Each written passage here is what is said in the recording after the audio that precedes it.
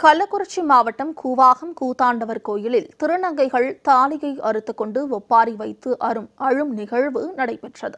இதுகுறித்த கூடுதல் தகவல்களை செய்தியாளர் நந்தகோபாலகிருஷ்ணன் வழங்க கேட்கலாம்.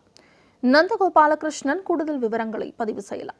கள்ளக்குறிச்சி மாவட்டம் உளுந்தூர்பேட்டை அருகே உள்ள திருநங்கைகள் கொண்டாடப்படும் கூவாகம் கூத்தாண்டவர் கோயில் திருவிழா இறுதி கட்டத்தை எட்டியுள்ளது.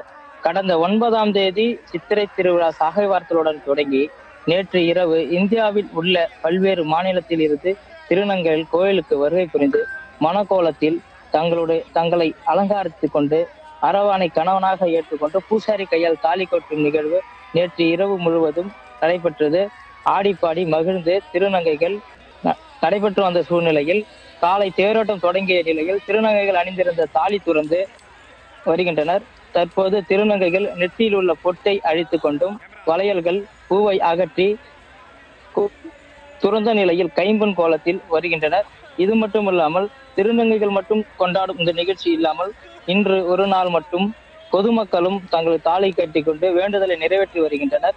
கூவாகம் கூத்தாண்டவர் கோயில் பலி கொடுக்கப்பட்ட அரவான் இறந்து விட்டதாகவும் பஞ்ச பாண்டவர்கள் போரில் வெற்றி பெற்றதாகவும் கூறப்படுகிறது. இதை மையமாக வைத்து திருவிழா நாளை மறுநாள் பட்டாபிஷேகத்துடன் சித்திரை திருவிழா நிறைவு பெறுகிறது. மோனிஷா நந்தகோபாலகிருஷ்ணன் தகவல்களுக்கு